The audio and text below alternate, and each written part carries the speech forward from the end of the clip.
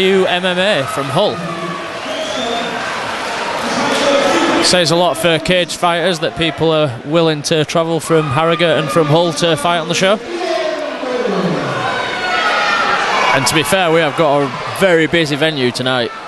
He still brought some support with him, didn't he? He definitely brought some support with him. Oof, that looked a little high. He was lucky to get away with that. Straight in there, pushing the action. Craig Skelton. is not messing around here. He's straight in for that single leg. Being defended well. He just needs to watch out for the guillotine. His head's in a pretty bad position.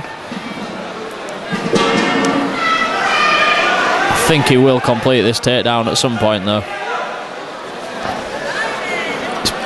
Here, he's bailed on that takedown attempt because he's, uh, he's a little bit worried about his neck there. Ah, he's leaving himself open for guillotine. Ah, he's, he's out of that da- immediate danger now. Push right up against the cage, right in front of his ear, Dan. Nice little knee there from Nathan Procter. Right. Trading a few punches and kicks. Nice shoot, great little shoot. He's going to finish this double leg. Yeah, he's got the takedown. However, he hasn't kept him down, and now he's he's worked back for the double leg once again. Possible arm-in guillotine here. No, he's just he's just overhooking the body. Quite a hard fight to score so far. Both takedowns go to uh, Craig Skelton, but he hasn't really done anything with it. Nathan working hard from underneath. Craig's managed to separate a little bit and get some room. He's work, working some heavy body shots there. From this position, I'm, I'm for the guys that we coach. It's you got to pass that guard. You can't you can't sit in that guard for long, especially with experienced referees. They're not just going to let you sit there and sit there. You've got to work. And there we go, straight away. Stand up. Nothing's happening. He didn't look to pass, so stand up.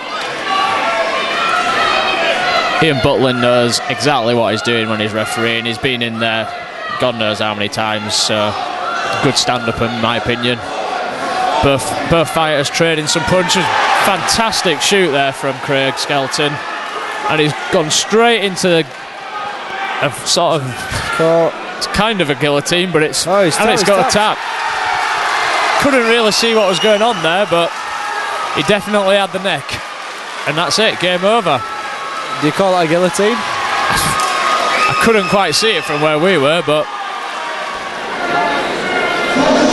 So it turns out Craig was uh, correctly looking very confident as he came in. Aye. Not wrong there.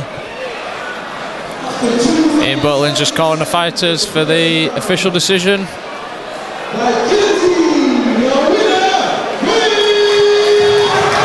Congratulations, Craig Skelton. Nice finish.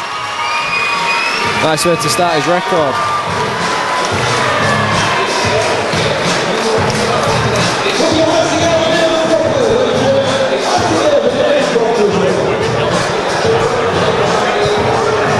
faixas lá.